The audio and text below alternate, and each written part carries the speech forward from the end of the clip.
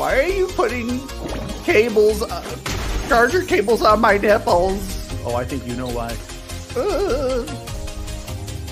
Heads up! The ring's closing. If you guys ever do that, make sure that you, you know, uh, get some band-aids in case you like want to keep a guy alive. That way you can always like bandage his nipples later because it's really not nice because they pinch the, the cables can pinch pretty hard on the nip, so just be careful of that. You know. Sometimes electricity takes the pain of the nipples away that's being pinched by, you know, the cables. Just saying, I'm just trying, to let you hear. No, here.